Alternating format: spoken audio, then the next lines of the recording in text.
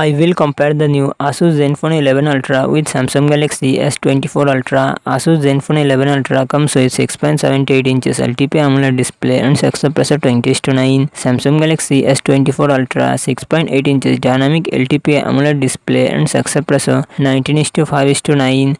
Asus Zenfone 11 Ultra run on the Android 14 operating system. Samsung Galaxy S24 Ultra run on the Android 14 operating system. Asus Zenfone 11 Ultra it comes with 12GB 16GB RAM and 256GB 512GB internal storage. Qualcomm Snapdragon 8 Gen 3 processor and GP Adreno 750. Samsung Galaxy S24 Ultra it comes with 12GB RAM and 256GB 512GB 1TB internal storage. Qualcomm Snapdragon 8 Gen 3 processor and GP Adreno 750. Asus Zenfone 11 Ultra dual set triple camera set setup fifty mega pixel पर thirty two mega pixel पर thirteen mega pixel front camera thirty two mega pixel Samsung Galaxy S twenty four Ultra Qualcomm Snapdragon Samsung Galaxy S twenty four Ultra rear set quad camera setup two hundred mega pixel plus ten mega pixel plus fifty mega pixel plus twelve mega pixel front camera twelve mega pixel Asus ZenFone eleven Ultra five thousand five hundred में battery sixty five watt fast charging support Samsung Galaxy S twenty four Ultra five thousand में battery forty five watt fast charging support